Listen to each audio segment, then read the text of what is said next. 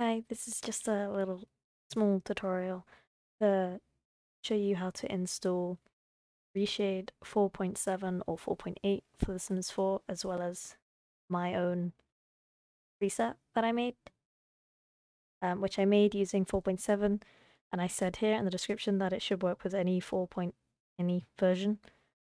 But upon testing it today, I found that 4.8 is slightly different. Um, I'm going to go through the two installations for 4.7 or 4.8. If you decide to use Reshade 4.7, it's fine no matter which one you use, like it's the same result. So I'd use 4.7, the installation process is slightly longer, but once you have it installed, it will work as intended straight away.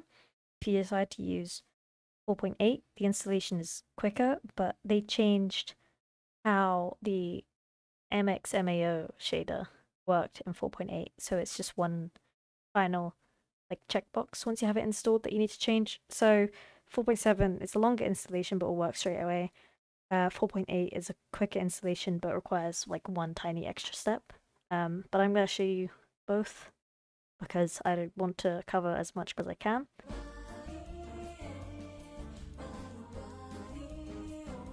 you're wanting to use Reshade 4.7, I'll include the link in the description uh, where to find the Reshade repository, which is all the old versions of Reshade. Um, because if you go to the Reshade website, it only lets you install the most recent one, which is 4.8. But if you want to get 4.7, I'll include the link in the description or on the post. I don't know how I'm going to do this. Anyway, once you get to the repository, um, uh, if you go into the Reshade 4.0 folder, scroll down and there'll be one called reshade setup 4.7.exe um, download and download this.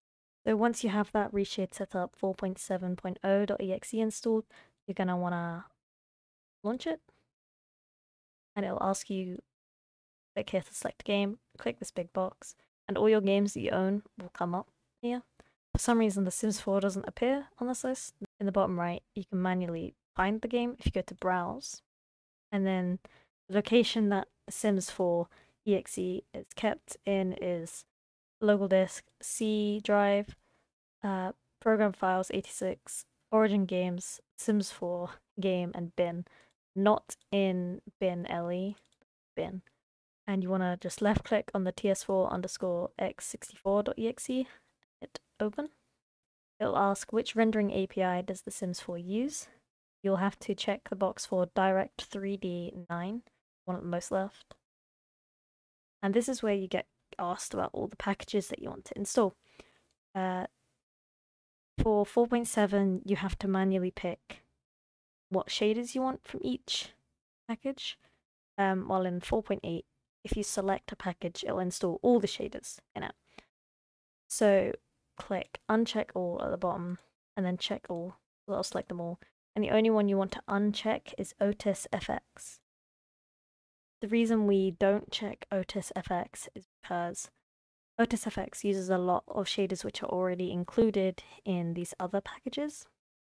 And when you load a reshade preset which uses one of these shaders, it'll basically load two of them, which can make it look really weird and funky. So next you want to hit OK. Don't hit skip. Hit OK. If you're installing Reshade 4.7, it will go through all these packages and it'll ask which specific parts, which specific effects and shaders you want.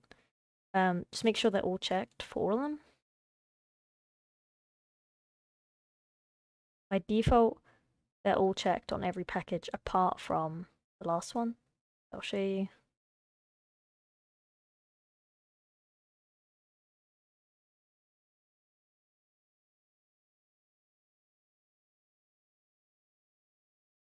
See, once you get to legacy standard effects, you'll want to, as you can see, only some of them are selected.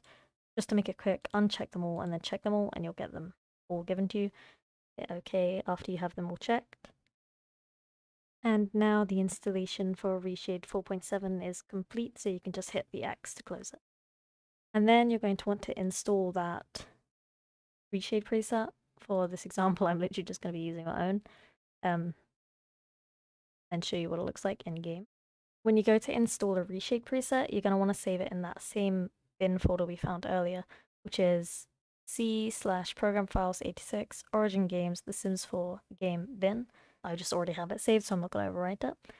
Now I'm launching The Sims 4 to show that it's working.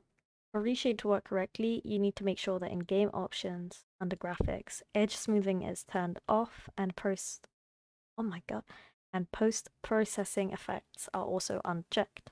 Just to show you that they're working, I'll go in tab mode.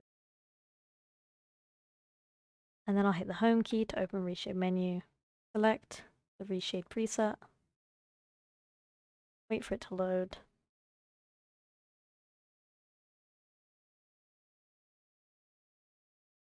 And there it is, working.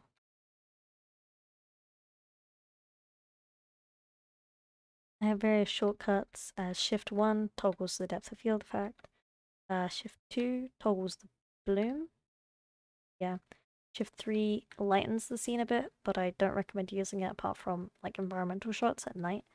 Like here it just makes him look weird. Uh, Shift 4 turns on and off the ambient light. So that's the installation progress for Reshade version 4.7 completed.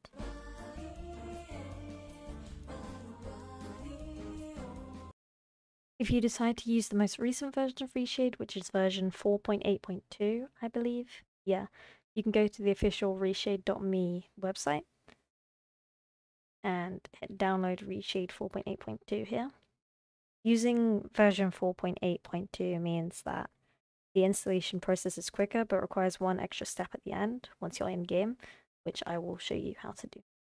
So once you have that Reshade setup 4.8 installed, you want to run it. Click here to select the game and manage its Reshade installation.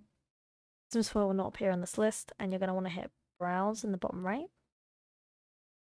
Then you need to manually find your Sims 4 exe for 64-bit, which is located in C drive, program files 86, origin games, Sims 4 game and bin. Left click the TS4 underscore x64exe and hit open. It'll ask which rendering API does the Sims 4 use. Sims 4 uses Direct 3D 9, so you want to hit this little box here. Then it'll ask you to select effect packages to install. It's important that you hit uncheck all at the bottom left and then check all the only one you need to uncheck is Otis effects. Make sure that box is empty. Make sure all these boxes have a check mark in, apart from Otis effects, and hit OK. Best part about Reshade 4.8 is once you hit OK, it installs everything without you having to manually select which shaders from all the packages you want. Once you have Reshade 4.8 installed, you're going to want to download your Reshade preset that you want. So we're going to be looking at how to install the Aphros preset that I made. To install a Reshade preset, it needs to be located in the same area you looked earlier when to find the TS4 exe file, which is located in the C drive slash program files 86, origin games, the Sims 4 game and bin. Save it in there. Now we're going to launch the game. Once you're in game, you want to go to game options, graphics options, and make sure edge smoothing is turned off and post-processing effects is also unchecked. This ensures that the shaders all work correctly. I'm going to go in game to show you the final step that you need to do if you decided to use 4.8. For now I'm in game in tab mode, I can hit the home button to open the reshade menu. Then here, I will select my reshade preset. In 4.8, it's slightly different how this is laid out, but if you select the reshade preset and then hit select, once the preset loads, you'll notice it looks like this, which is really weird. For some reason in uh, version 4.8, they changed how the MXAO shaders work, um, which you can very easily switch back to how they worked before. Uh, you can do this by having this window open and at the bottom you see edit global pre edit global preprocessor definitions. Click this and you'll see this drop down with four numbers. Where it says 1, switch that to a 0. Where it says reshade depth input is reversed, it will have a 1. Replace that with a 0 and hit enter. Click edit global preprocessor definitions again to close the window. Once you do that, it will reload the shader. And now it will look how it's intended to look.